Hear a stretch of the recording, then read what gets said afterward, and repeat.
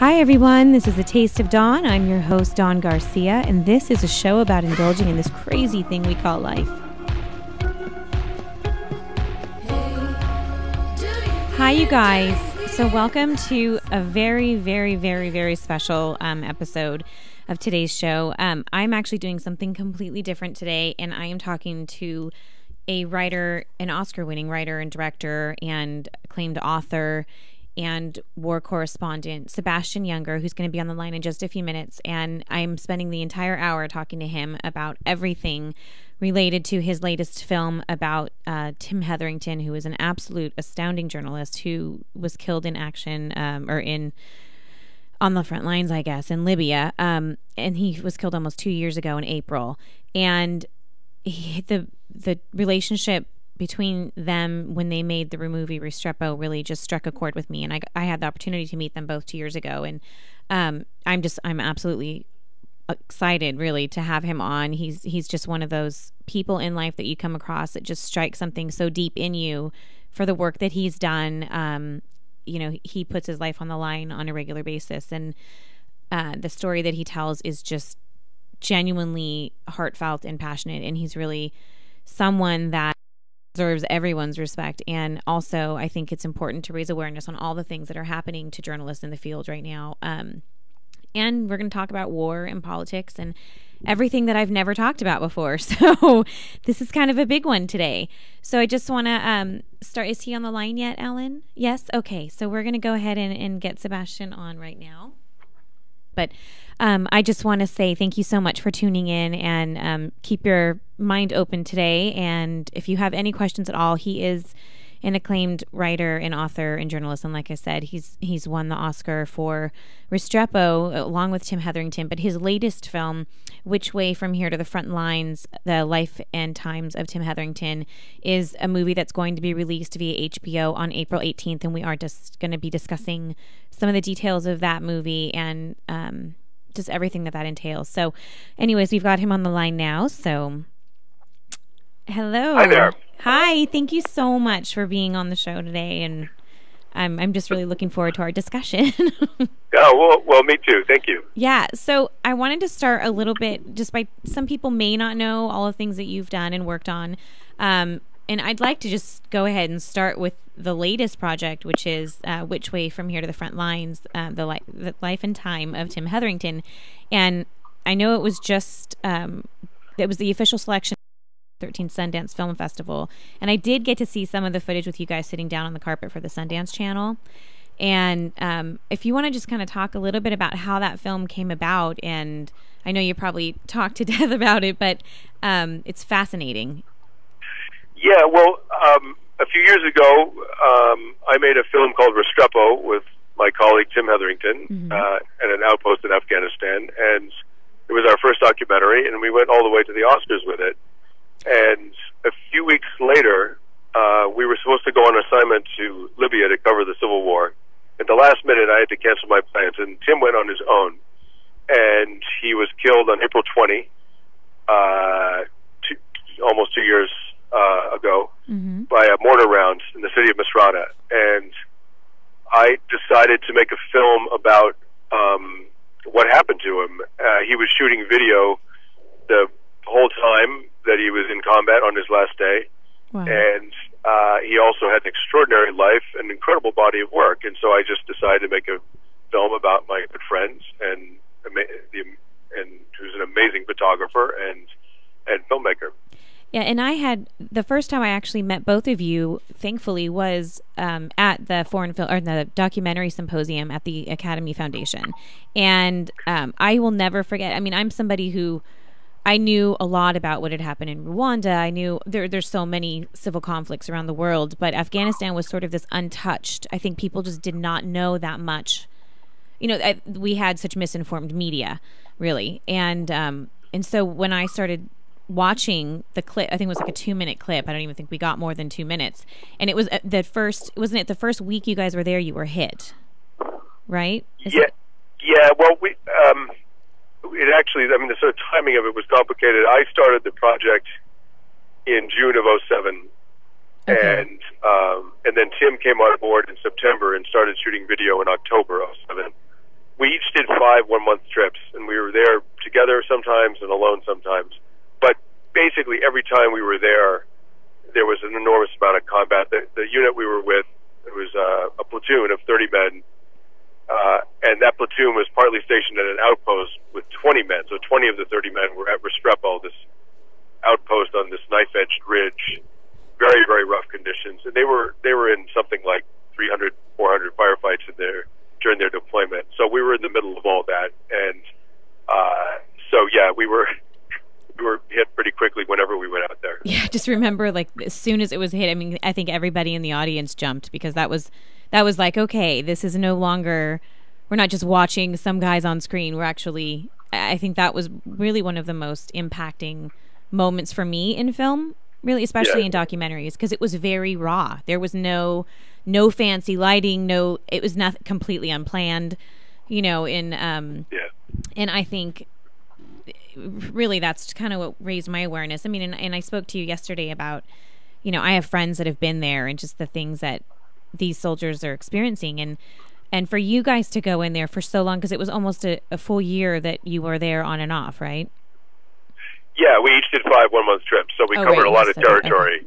Uh, we covered a lot of that deployment. Um, but no, you... you know, if I if I could have if I could go back and do it again, I think I would would have wanted to be there about twice as much. But we did as much as we could. Right. And now, how were you guys received by the troops? Really, because that's a very personal space. Yeah. Well, you know, the the soldiers are. Um, skeptical of the media, and for some good reasons, yeah. actually, sometimes. Absolutely. And when you first get out to a place like that, um, it's so raw and it's so on the edge, and everything is so important, and the stakes are enormous. And it's a little bit like being like your first day. It's at a new school. Like you kind of don't know where to sit in the cafeteria almost. Like I mean, there wasn't a cafeteria out there, but you know what I'm saying. Like I do, yeah. You just sort of don't know what to do with yourself.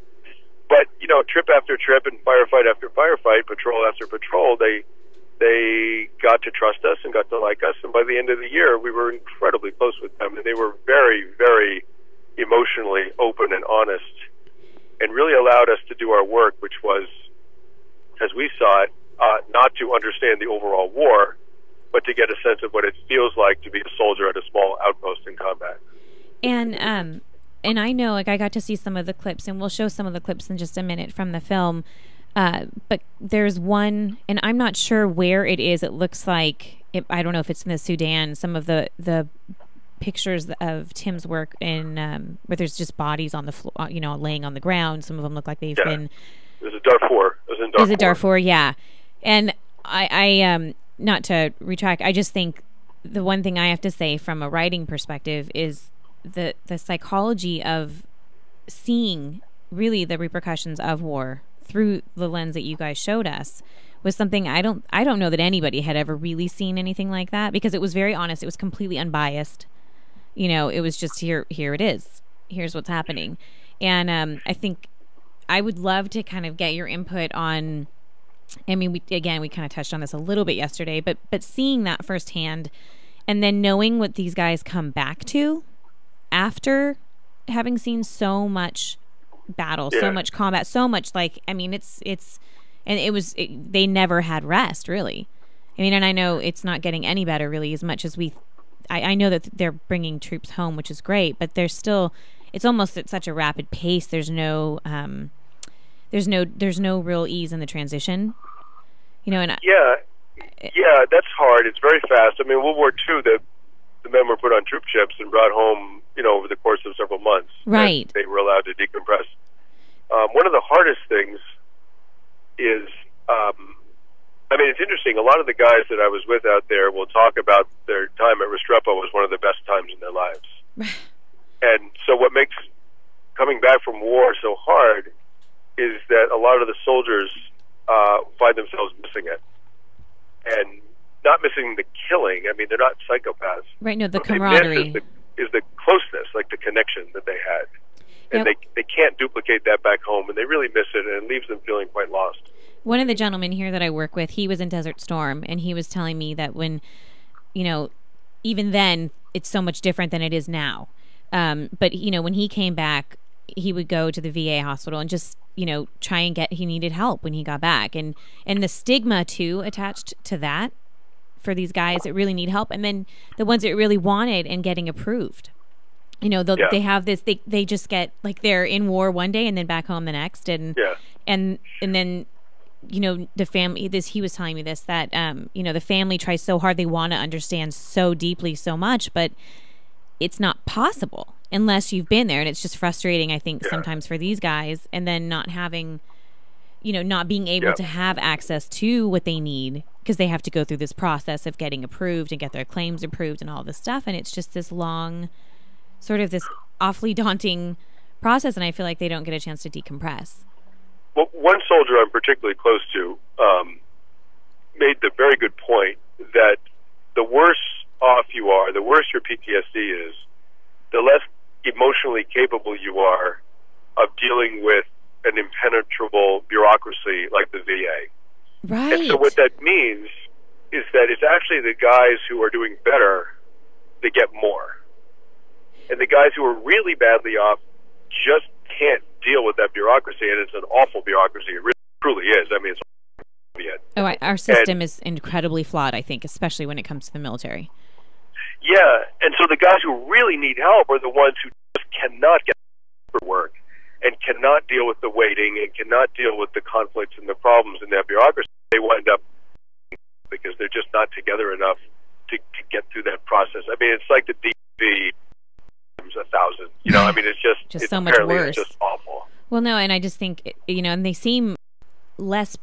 I mean, I know there's no way to prepare, but I feel like these guys are so young, so young in so many ways because of all the things that everything's so quick in society. You know, there's not that maturity, and then they go, yeah. and then they're given guns, and they're going off to do things that they feel is honorable. You know, some of them, at least most of them, I think, and then they get there, and it's just a completely different situation.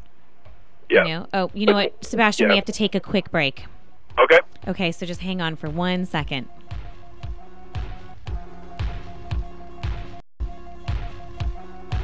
Thanks for tuning in. Once again, this is your host, Dawn Garcia on ATOD Radio, savoring life one moment at a time.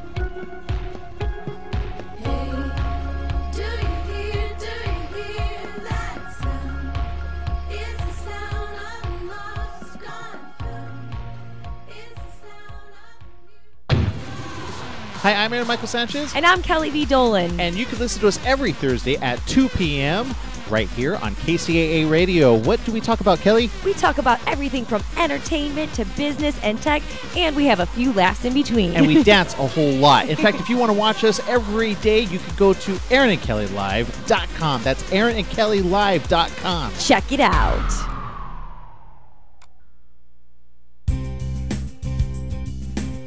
This is Anthony Sykes, your host for Sykes Accounting and Consulting radio show, where we help small businesses grow and give you tax tips every Tuesday from 6 to 7 p.m. Pacific Standard Time. Catch us here on rantradionetwork.com. Thank you.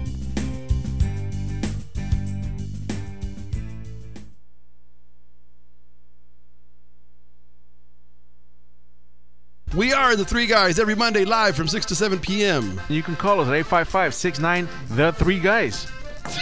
it's not the Three Guys. This is why you should turn in because one has Tourette's, the you other really, one's illiterate. You really should listen in. You never know what's going to happen. 855 69 3 Guys. G U Y S and the number 3, not the.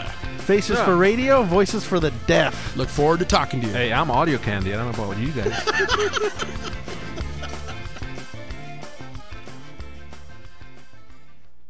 This segment has been brought to you by Coco Cafe. It's a cafe latte coconut water with espresso.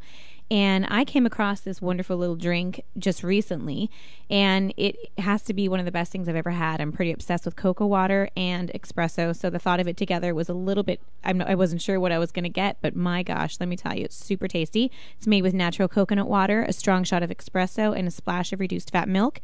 You can visit them online for more information at drinkcococafe.com. Once again, I want to thank everyone at Coco Cafe for being a sponsor of this radio show. Thanks so much. Hi, everyone. This is A Taste of Dawn. I'm your host, Dawn Garcia, and this is a show about indulging in this crazy thing we call life. Sebastian. All right, you guys, we're back, and I'm so sorry. If Sebastian, if you can hear me, we're actually going to figure out how we can talk during the break. Okay. Something happened All with the. I'm not sure what happened there. So, um, Okay. Okay, so we can pick up where we, where we left off here. Um, I would love to actually. I we talked about this again yesterday a little bit, but we can. I just want to hear kind of your input on really the the political situation and how that affects these guys that are going to war. Because I mean, you're. I mean, you really are a true war correspondent, and you you have seen so much, and um, and I think your take would be very different probably than somebody who's in office. And um, yeah, so I would just I'm very curious to see kind of from your like are there things that you think have just gotten worse? Has anything improved? You mean the the political situation in Afghanistan or in the United No, States? with with our soldiers in terms of how politics have influenced really what's happening to some of these guys, and then then we could definitely talk about the political situation. Um, well, you have to understand about soldiers is that they're very narrowly focused, as they should be. Um, they're fo- they're told what their mission is, hmm and whatever that may be. Um, it might be build a school. It might be deliver food to a village. It might be clear a valley, clear out a valley of insurgents. You know, whatever it is, they're given their mission, and they're 100% focused on that mission. And if all the units complete all their missions successfully, the war is going pretty well. But they really don't think about the broader strategy, the the broader political issues, uh, for that matter, even the broader moral issues. They really don't. Um, they are they're 19 year olds on the ground doing something very demanding and very very precise. And so they they just they really just don't talk about it. I think in Vietnam they probably did because many of them were drafted, and so the politics of the war was one of the reasons that they were in the war. But all the guys that I was with, every single person in the U.S. military, for one reason or another, chose to join, wanted to be a soldier, chose to join. They they they're- really don't sort of second guess the rationale for the war, Right, and then they come home. and they come home. Yeah. I, I was gonna say too. Um, I think that things are so different in that you know how you were mentioning how close these guys are in that there's a bond that is so and I, I know everyone in previous wars you know the bond they always say is so it's just so incredibly unbreakable. But now these guys actually train together before they're deployed. So they're they're together from the very beginning.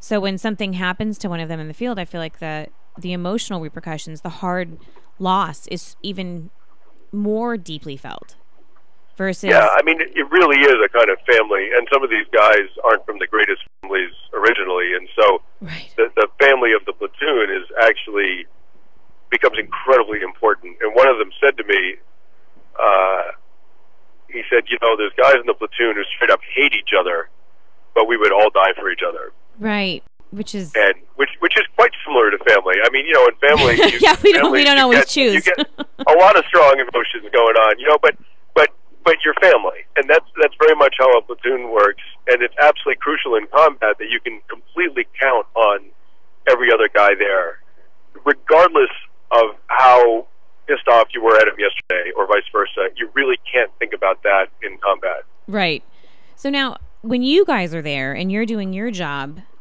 are you how do like if something were to happen i mean i know you're definitely in terms of military you're going to be last on the list to be looked at but this is kind of what leads me obviously to risk as well is um you know when you're out there and you're seeing all these things and you do become so close to them what like if you were to get shot at and you were something were to happen are they looking out for you while you're there and i Oh. don't even mean in like what you guys did in Restrepo. I just mean in general when you're out in the field. I mean, how how does it's just sort of independent of them on your own doing if, your job? If, if, if you're with the U.S. military uh, on a combat operation, they are completely responsible for you Oh, the okay. way they are co- responsible for all for each other. okay, And and if you get shot, the medic will come help you if he's alive, if he's capable of it. He Mm. will come help you, and they'll get you on a medevac, and they'll get, they'll get you out of there, and they'll fly you to Germany and patch you up or whatever it may be. And so Tim uh, broke his leg in combat on top of the Abas Ghar Mountain Oh, at right. About 9,000 feet, and uh, they couldn't get him out by helicopter, and he walked all night on a broken leg. Um, Hmm. there, there was a lot of combat. It was a very bad situation. He walked all night on a broken leg, and they he got down to the town of Landigal, and they pulled him out by helicopter. Wow. Um, and and they then they put a plate in his leg uh, at Bagram Air Base at the medical facilities there. They put a plate in his leg. They took care of him. and then you had an injury on one of your first assignments, right? Yeah, on my second trip there, the first time I was with Tim, uh, I ruptured my Achilles tendon on a uh, on a patrol. Uh, I was carrying a lot of weight, and we were moving all our gear out to Restrepo, and uh, I just I had most of the gear. Tim, I had a my pack was bigger than Tim's, and uh, so I had a lot of gear, and I ruptured my Achilles, and I was pretty impaired for about a week. I mean, I I could move, but I, I with a lot of difficulty, and Ugh, so I got through that trip. It was a few weeks out there. I got through that trip, and I went home to do physical therapy and sort of put myself back together. And then Tim took the next trip. That's when he broke his leg. Then I took the next trip while he was healing. I took the next trip, and I, I got blown up in a Humvee. and then he took the next one. We just kept on. you just kept trading, trading Yeah. injuries and stories. Um, and so in this film, and you're really exploring again. I think just the the body of work that Tim was responsible for, and the one thing I have to say that makes to me what makes you guys stand out so much is, um, it's really outside of politics. The way I mean, his his passion was definitely for people and it seems your passion is the same. And it's not just soldiers it's the people that are that are um impaired by war wherever they are the civilians the families the loss the of course the accidents that happen. that, you know all, all of these things that are sort of repercussions of war and i just i I, I, I just think that's amazing. But the fact that you can tell the story so beautifully, and Tim, you know, there's a scene, um, and maybe we can show that clip. Uh, the there's a scene with him talking, and I don't know where. I, I think he's in. It looks like he's in India, um, where he's talking to that little girl. He's In just Sri Lanka, in Sri Lanka, right. yeah, and he's taking the picture, and it's just, it it's that very human strip away any pretense, any of the BS, any of the politics, any of this sort of Western mentality that I think, unfortunately, is usually well assigned. Um, and it, like that just seems to be what like that's the man that I met. You know, Yeah. so the film that you that you put together, I think, does a really brilliant job of showing that. But I, we're going to just show a quick clip, actually. Okay. Wow, she's a really bright character. Huh? How old? How old are you? Nine years old. Nine years old. What's her favourite time at school? Family. You seem very intelligent for nine, huh? Just keep looking here and don't move. It's necessary, I think, in raising a sort of consciousness of, of serious political or, or social events to create something that works on a more imaginative level. Something that will allow the viewer to engage creatively with the subject.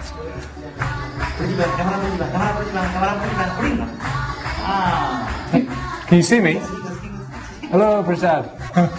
okay, we're going to swap now, and you're going to come and sit here. For me, it's all about personalisation. You know, often we see scenes of disaster, and, and it's almost like we forget that the people we imaged are individuals with individual stories and lives. Yeah? You don't? Okay, no problem. Ask him, was that painful? Um, and I think that's very. I, I think that it- that's sort of the problem sometimes is that people we've lost sight of who we are as individuals and people collectively because of all this conflict that's happening around the world. And to to tap into something that's very innocent and real is is Yeah. I mean that seems to be what I hope every journalist is striving to find that sort of commonality between us rather than this massive divide that we're just fed, you know. Well, you know, under the job of journalism, there's, a lot of different specialties, and um, there are journalists who focus on understand the very understanding the very very complicated, volatile political sort of matrix that we're all in in the world. And it's an important job. But that's very different from trying to do what Tim was doing in that scene, which was really, really connecting to the experience of, you know, seven year olds, eight year olds in Sri Lanka. And, you know, Tim was very, very curious about the world. He had a tremendous humanity about him. Uh, he was very, very open. He really engaged people as equals, no matter how poor they were, or for that matter, how young they were. And it really made people love him and opened up to him. And as a result, he would gain access to some very personal territory, whether it's a child in Sri Lanka or a soldier in Afghanistan. Right. Uh, he was really brilliant at it. And, and I think I, we have to take another break already. Um, but I, I don't know. I, I think that that is sort of the fundamental essence of what there should be more of in the world. You know, I, I think we need, obviously, we need the hardcore journalism that's going to sort of um, make the political situation wherever we are very transparent because I think that needs to happen, which is a definite conversation I'd like to have with you. Um, and and just being able to find it's almost like that simple breath. You know, we we we're we're so overwhelmed with all this chaos and and and I feel like there's just an outburst of violence and and unrest really everywhere in the world right now. And there's no real responsibility coming from our leaders or the whoever is is governing in any country right now. I think there's a very small amount of responsibility being taken, and uh, so to be able to tap into that sort of innocence that, and I say innocence just because it's, it's so simple. It's just yeah. basic humanity, you know, and and it is lovely to strip away and just sort of talk to the person, and hear, you know, this is the everyday stuff that gets lost sometimes. What Tim um, Tim and I both actually, the way we understood our jobs is that we were trying to understand the human cost of war. Mm. And that doesn't just mean what the Afghans were experiencing. It also means what the American soldiers were experiencing. I mean, we're all humans. We're all having an experience, and one that's important, and one in which we are subject to forces that are way more powerful than we can control. And that's true of everybody. Right. And it's even true of journalists in war zones. And that was um, that was the way we kind of focused our work. What's the what's what are the emotional consequences of all this? And I have to say, like, I mean, the first war I covered was Bosnia. After that was Kosovo, Sierra Leone, Liberia. Every single war I've ever covered was ended by not by talking, but by military action, military intervention by the use of armed force, a superior armed force, to stop the warring sides from fighting. Mm-hmm. And um, so, and Tim and I both, you could hardly call us pacifists. I mean, if there's a war going on in another part of the world, uh, uh, you know, it's amazing how fast a NATO airstrike can bring it to a stop. And sometimes that's the best thing. And so, right. Tim and I were not at all sort of like anti military because well, we no, saw how the be. military can actually save lives. Yeah. Um, but that puts us in a very complicated position with in a discussion with liberal-minded people, and I'm politically completely liberal, but that my understanding of war gets kind of complicated in that kind of conversation. Right. No, I I definitely can. You know, I'm gonna we're gonna have to take another break on that note, but I yeah. I would kind of like to lead lead into that, and as soon as uh, we take our little two minute break, and I will be I'm gonna try and get you off um, the hold. so just give me one oh, second. Oh, okay. Okay. Thanks, Sebastian. Thanks for tuning in. Once again, this is your host Dawn Garcia on ATOD Radio, delivering life one moment at a time.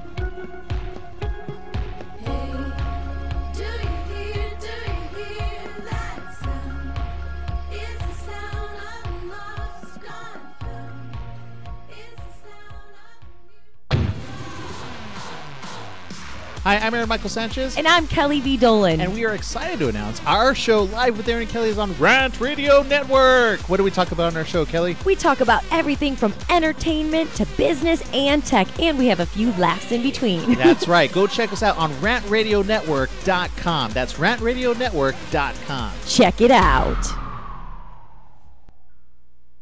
We are the Three Guys every Monday live from 6 to 7 p.m. You can call us at 855 69 The Three Guys. It's not the three guys. This is why you should turn in because one has Tourette's, The You other really- one's illiterate. You really should listen then. You never know what's going to happen. 855 69 3 guys. G U Y S and the number three, not the. Faces Yeah. for radio, voices for the deaf. Look forward to talking to you. Hey, I'm audio candy. I don't know about you guys.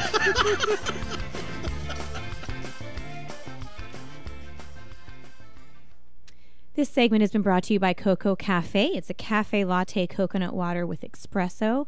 And I came across this wonderful little drink just recently, and it has to be one of the best things I've ever had. I'm pretty obsessed with cocoa water and espresso, so the thought of it together was a little bit. I'm not, I wasn't sure what I was going to get, but my gosh, let me tell you, it's super tasty. It's made with natural coconut water, a strong shot of espresso, and a splash of reduced fat milk.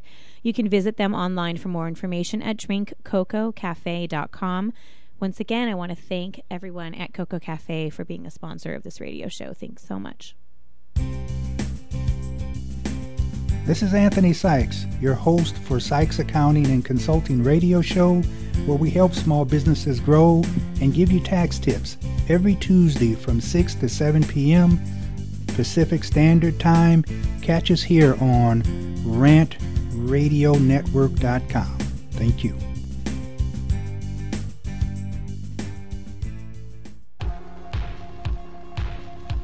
Hi, everyone. This is A Taste of Dawn. I'm your host, Dawn Garcia, and this is a show about indulging in this crazy thing we call life.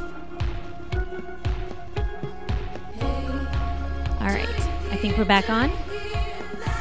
Oh, I don't have him. Here we go. Are you there? There you I'm go. here. There you go. Okay. Technical difficulties.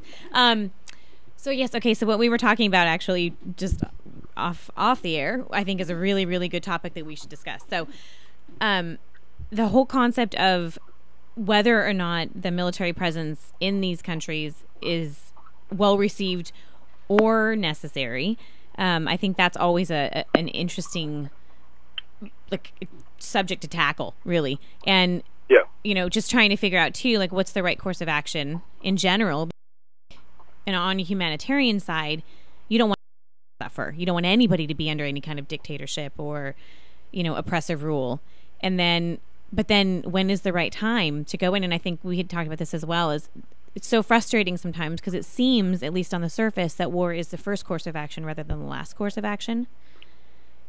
Well, I'm not sure that's true. I mean, in Bosnia, they the you know European politicians talked and negotiated and threatened and cajoled for four years, Right. uh, and 200,000 Bosnians were killed before you know 10 days of NATO bombing runs that that ended the war. Mm. And you know, like you know, Rwanda, like they no one ever did anything, and Yeah, and they, is- except talk. which and, is still the and biggest. a lot of people died. So, I, I, you know, even in, I mean, I was not a fan of the Bush administration, and I was completely, completely against the Iraq War, utterly. Yes. Yeah. But, but with Afghanistan, it was really interesting, and people forget this. Um, I mean, I think George Bush, the last thing, seriously, that I think he wanted to do was go into Afghanistan. I think he had his eyes set on Iraq, and Afghanistan really was kind of a, a tangent that he didn't want to deal with Right. but he told the Taliban that we'd been attacked and that the people who attacked us were hosts, were guests in their country, and if they handed Al Qaeda over, the Al Qaeda leadership over, that the U.S. would come in and and help Afghanistan rebuild, and if they didn't hand them over, we would come in and get them. And it was really the Taliban who chose war. I mean, they they were the ones who chose not to hand them over. Right. Um, so I, you know, I, I think it's actually a little more complicated than you just said. Well, it always is. I just, I think, um, well, I mean, Iraq, I think most people would agree was, at least on the surface, I think everybody wanted to believe it began for the right reasons, but it really should have started somewhere else if it was going to have to start anywhere.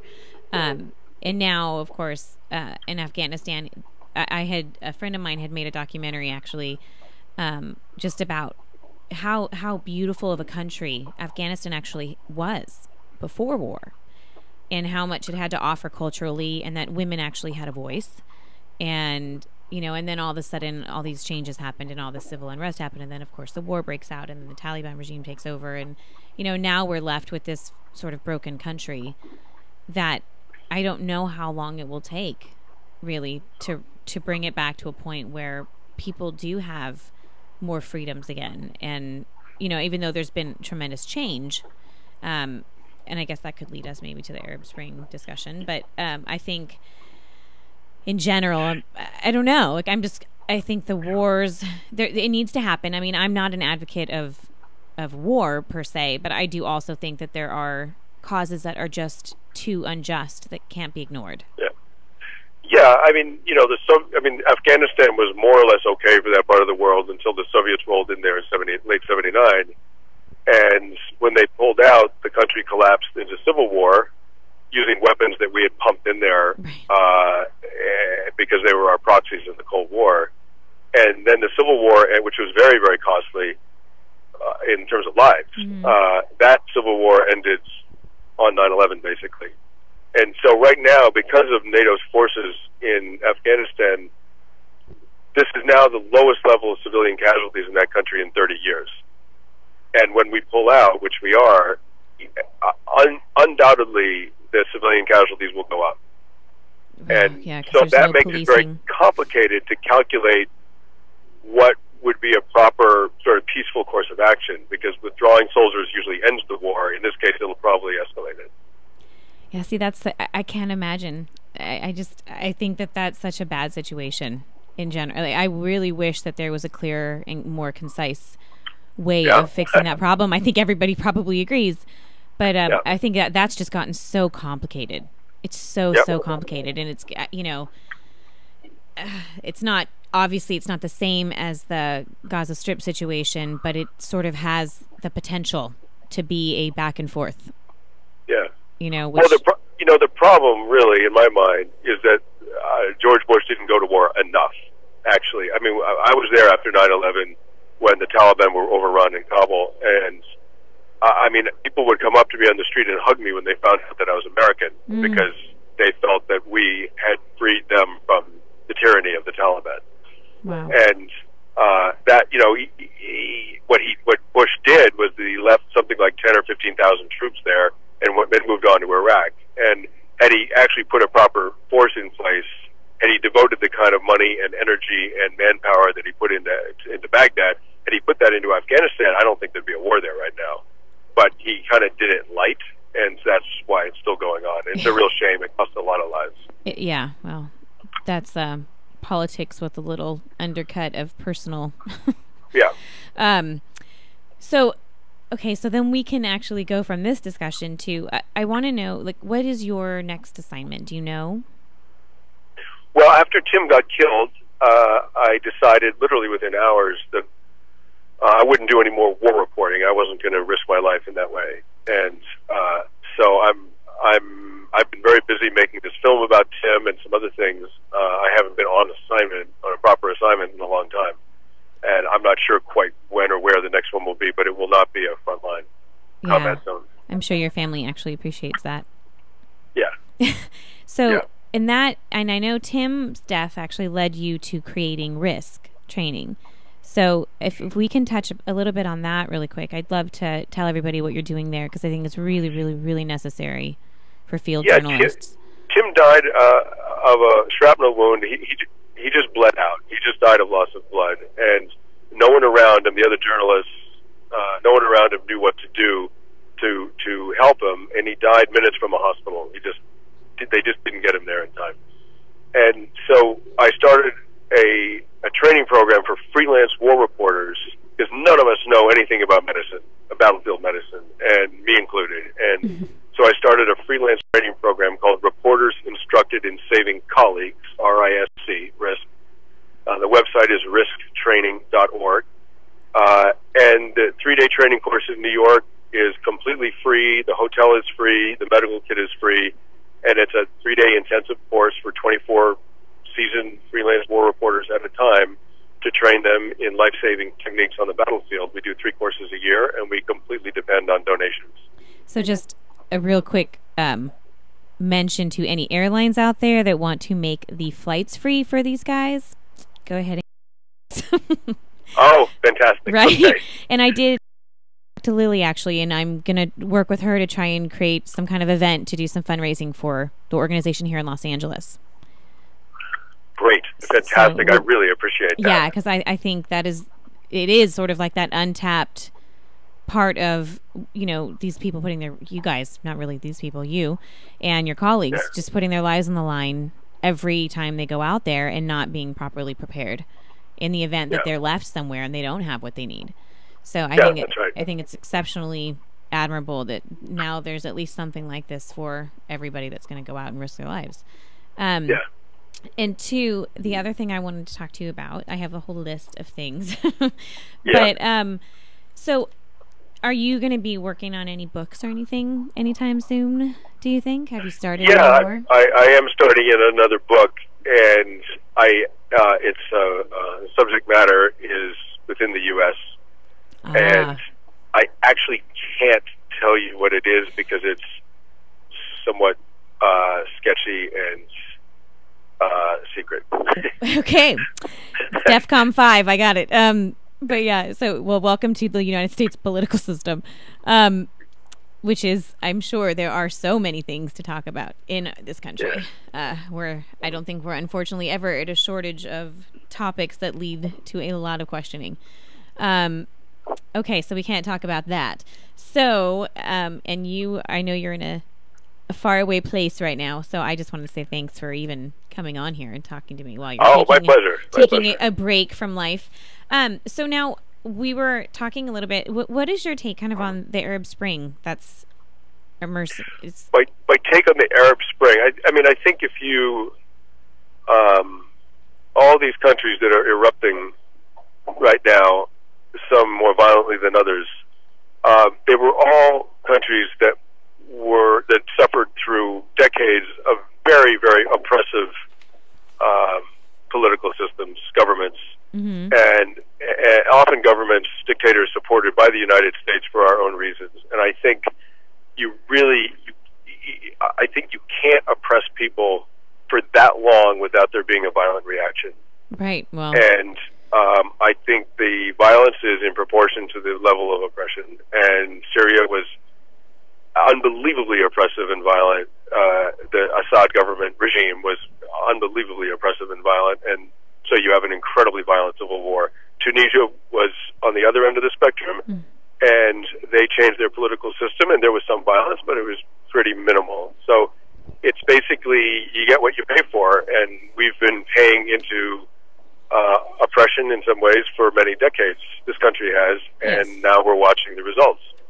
Yeah, I think it's it's unfortunate because what you end up finding out is all of these countries who are under such regimes somehow our hand is in it, which is very frustrating. Yeah. Um, and I so I guess that we could kind of touch on the Syria situation. So, do you think that that is our next place that we will end up? Like, Uh, I mean, I've never been. I'm, I haven't worked in Syria, but uh, no. I, I mean, I'm Not just you taking a personally. guess here, but I I don't think we're going to wind up on the ground in Syria. No, okay, I hope not. When and you when know we didn't wind up on the ground in Libya either. I mean, we right. I think we did something absolutely crucial in defending Benghazi with with airstrikes, uh, and I think we saved. I think NATO saved a lot of lives, but we were not on the ground there, uh, with the with the very brief exception of a fighter pilot who had to ditch his plane and was rescued by special forces. So now I was reading a little bit about the Muslim Brotherhood as well, and how they're trying to push through a different constitu- a new constitution that has some of that old, um, more oppressive language in it. And I'm very curious to see if that I, I, it just it was posted on the fourth actually, so it might have changed, but um, it was done by Kenneth Roth. Actually, wrote the article. Um, Yeah. have, so I have you. I, I don't really know anything about that particular. Like I just can't keep up. I feel like there's so much news. Um, but yeah, I, I'm curious to see. How, do you think that that's that that's another threat? to- Well, I, I mean, uh, Egypt is a Muslim country, Right. and so the Muslim Brotherhood is going to have a voice.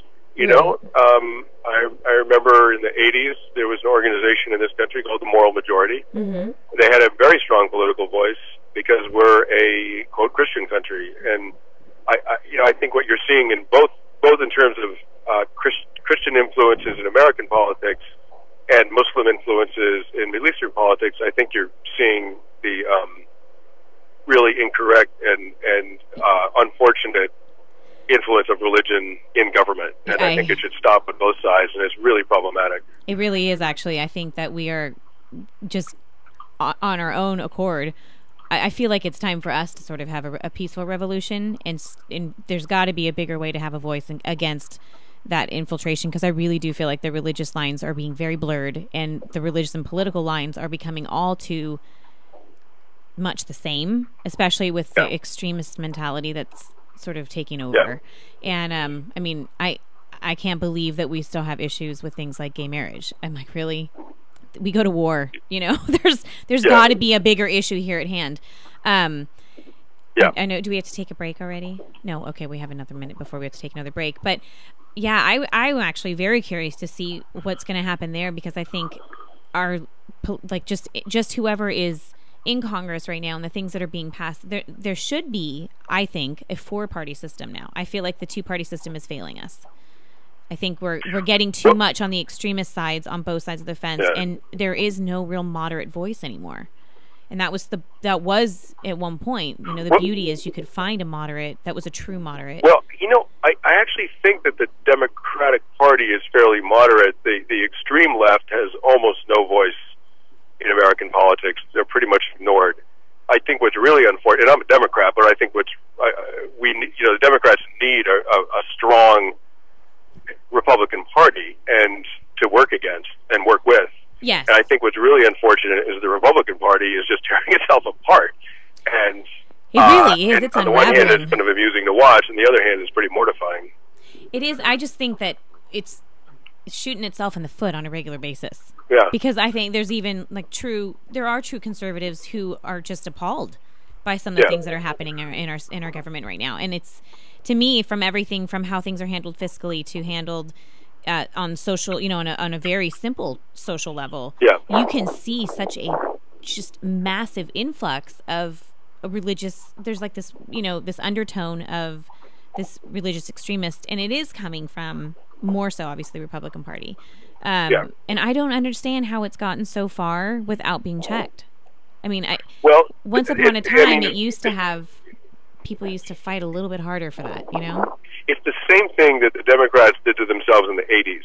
I mean, they really hamstrung true. themselves by being kind of you know handcuffed to the far left, and it made them politically completely impotent. Mm-hmm. And now the Republicans have done that with the far right, and I, uh, hopefully they'll mature and grow out of it uh, because I they're hope so. useless to themselves, and I, I just don't think they're helping the country much right now.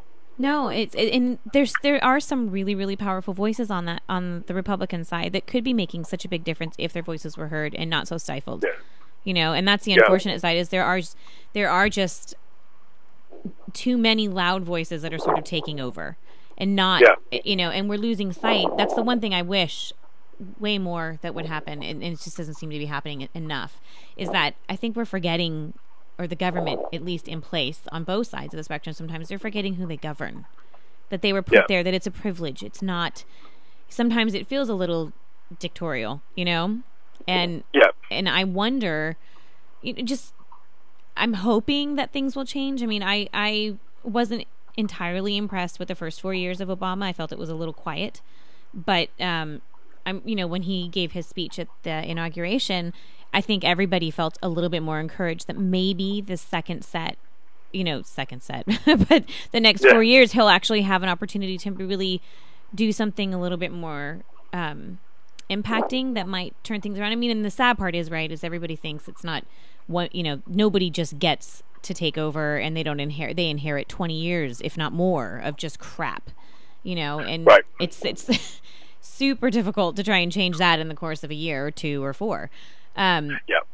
but I, I'm I'm hoping I'm really hopeful that our system becomes a little less transparent in terms of the religious influence. I really I think it's so anti-constitutional, you know. Just Well, you know, apparently 20% of the country is not affiliated with any religion. So uh, hopefully the Republicans will realize that the political future is in rational dialogue that does not include a strong religious agenda. Right. It, it, it would be great. Wouldn't it be great? Yeah. That's my hope too. So, um, we are actually about to wrap up. So, I want to just say really quick that um, for all of you guys listening, uh, Sebastian's new film, um, Which Way From Here to the Front Line, The Life and Time of Tim Hetherington, will be Did I say that right? Which way is the front line Uh, from it's here? which which way is the front line from here? Yeah, I keep getting that one. But it is. It's the first thing Tim says in the film and uh, uh, in Misrata. So yeah. And it premieres um, on April 18th on HBO. So please make sure you guys watch. It's going to be uh, an amazing film. I have I have no doubts. It's going to be just. I can't wait. I can't. I mean, just the Thank- clips alone. Yeah, and um, and congratulations too on just everything that you've accomplished. And and I'm glad you're not going to be putting yourself in danger for at least a little while. We we we need your voice. so Thank you, um, thank you. yeah, and then also um, I'm going to make sure that I post and let everybody know about RISC. And on my website, if you guys go to ATOD Magazine, you can click on the links and donate. Please do. It's um, R I S C. Is it risctraining.org? R- risktrading.org. R I S C. Yeah, risk trading. Okay, so please go and donate and just just it's a worthy cause. Um, and, thank you again, Sebastian, so much for being on the show. I wish I could probably talk to you for another five hours. So, Thank you. yeah, you're welcome, and have a really good rest of your day and enjoy your break.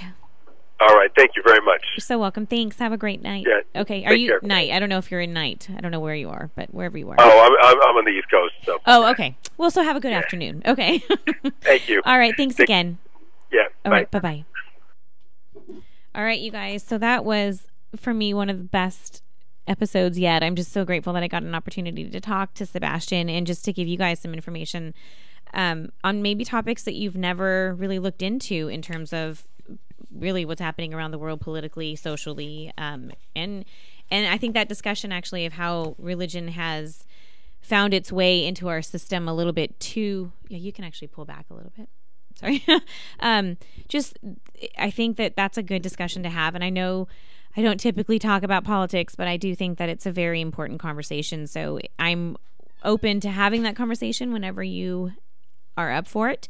Um, I do want to say though, with the last five minutes that I have, I want to completely switch gears and let you know that on Thursday I have another musical guest coming in to perform, and I'm really excited about them. It's Sadie and the Blue Eyed Devils, and they are very fun, um, kind of that old school. Um, I don't want to say, I don't even know if you could really qu- qualify the era, but they play with washboards and banjos, and she's got a harmonica attached to her, and her voice is absolutely angelic. So, um, really looking forward to that. We're going to go back in time just a little bit, and you can look them up on uh, Facebook at facebook.com forward slash Sadie and the Blue Eyed Devils, and that's S A D I E. Um, please make sure that you go like the page actually for Sebastian's new movie. Um, just look it up on Facebook, and it is Which Way is the Front Line from Here? And I think that that is the name of the page. And then the additional, The Life and Time of Tim Hetherington is just a part of it. So please type that in. Again, I would encourage you to go just research, you know, what journalists go through and the, the lives that they put they really put themselves in harm's way to make sure that we get a story to discover the truth whether they're like he said i mean they could be unearthing the simple human essentials of who we are and, and the impacts of war to people that are not in the military. And then of course the flip side of that is the political repercussions of what happens to people who have gone to war and um, had to come back. And you know, I, I think no matter where you are in the world and what you're doing, I mean, I'm a bleeding heart hippie, I think, in that respect, that I really wish that we did not have to resort to violence to to have some kind of peace in this world. And I know that that's a kumbaya sort of mentality, but I'm going to still be a big dreamer and hope that maybe one day we could just talk it out. And, uh, doesn't matter if it's a heated discussion, but I do think that there's something to be said for some diplomacy. Um, on another note, what else do I want to talk about? I got to go, by the way. What am I saying? What do I want to talk about? Uh, I'm hoping if you are listening, executive producer of the latest Roman Coppola film, we need to get Charlie Sheen on here. So that is on the table for a discussion, and I would love to have him on the air and just. I think um, after seeing the premiere last night, which is inside the glimpse or a, a glimpse inside the mind of Charles Swan III, I went to the premiere last night and got to briefly speak with Roman Coppola and Jason Schwartzman. Um, and there was a, just a lot of really cool people there last night. And um, if you get a chance to see the movie, it's a whole nother side of Charlie, actually. It was the first time I think it was so honest and real. And I know everybody unfortunately watched way too much on YouTube. Um, but he is he's really endearing in this movie. So if you get a chance, please, please, please see it the moment it comes out. It's it's well worth it. Um, Jason Jason Schwartzman is hysterical. Patricia Arquette is brilliant in it. Um, and Bill Murray, of course, is Bill Murray. But there are some really touching moments in that film that I really wasn't prepared for, and it's odd and crazy and wild and um, true Roman Coppola style. But it really is a, a a wonderful little piece of, of cinema. So I, I was pleasantly surprised. And of course, it's based on my friend Charles White the third. So um, go visit the new issue, of course, atodmagazine.com, and look under issue number one, and you'll see Charles White. And please read about him. He is a fascinating gentleman who has contributed so much to the world of art and just kind of the way we see things in, in a pop cultural way, especially when it comes to creating. Um, I know we're running out of time here. What else do I want to mention? Um, see, Alexis, do what I have. That's it. She's looking at me like, why do you just put me on the spot? Um, so, anyways, yeah, I, I'm my brain is just processing everything that I just talked about. So, um, yeah, thank you guys so much for just sticking with me and and allowing me to show you so many different sides of me and my personality and the things that make me feel like this world is a beautiful place. So uh, that wraps it up. Don't forget to tune in again on Thursday. I have Sadie and the Blue Eyed Devils in, and you are not going to want to miss that. So have a really good afternoon. Talk to you guys on Thursday.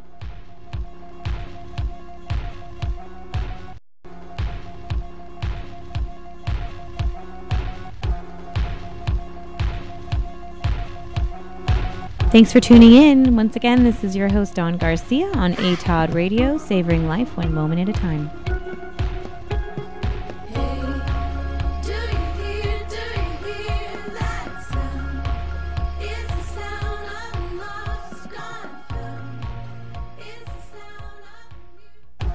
Welcome, everybody. I'm Dawn Garcia of ATOD Magazine, and this is my brand new show, A Taste of Dawn, where we'll talk about everything related to savoring life.